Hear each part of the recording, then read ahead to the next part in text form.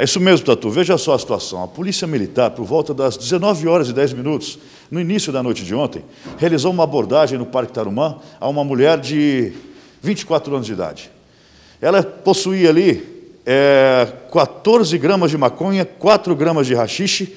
Durante a abordagem foi verificado então que seriam drogas para o consumo. Essa mulher foi conduzida até a sétima subdivisão policial, foi liberada, mostrando aqui o trabalho da Polícia Militar.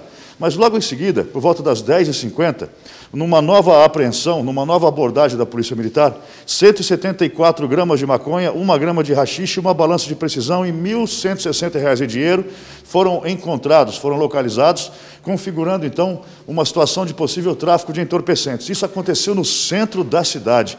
Tenente Renan tem as informações.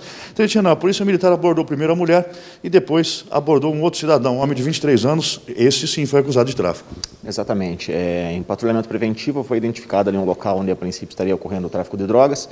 É, foi realizada a abordagem dos indivíduos, foi feita busca no interior da residência, foi localizado ali aproximadamente ali, cento e...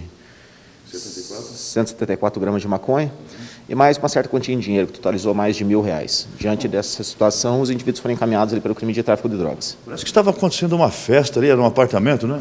Exato. Inicialmente, o que chamou a atenção foi o volume alto ali do, do som que estava vindo ali do, do apartamento ali, na Avenida Paraná.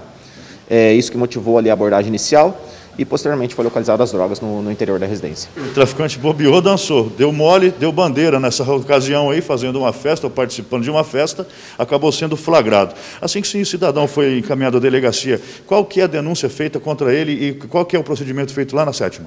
O procedimento feito pela nossa equipe foi a apreensão desse entorpecente, no encaminhamento desse indivíduo que que foi autuado em flagrante pelo crime de tráfico de drogas e agora cabe à Polícia Civil aí a tomar as devidas providências. Tá, e você acompanhou o trabalho da Polícia Militar, drogas para consumo apreendidas com uma mulher de 23 anos de idade, foi levada até a sétima subdivisão policial. Você, maconheiro, fique esperto. Polícia Militar está rondando. Não dê bandeira, hein? Senão roda mesmo, vai para a delegacia, é autuado e fica fichado, que é o mais importante. Já na outra ocasião, às 10h50, tráfico de drogas, R$ 1.600 em dinheiro, 174 gramas de maconha, rachixe, balança de precisão, durante uma festa aí. Maconheiro, traficante deu bandeira, a polícia foi lá, flagrou a situação e caminhou, todo, caminhou para a sétima subdivisão policial, onde foram tomadas as providências cabíveis. Imagens de Alan Gabriel, Alex Miranda, para o programa do Tatu.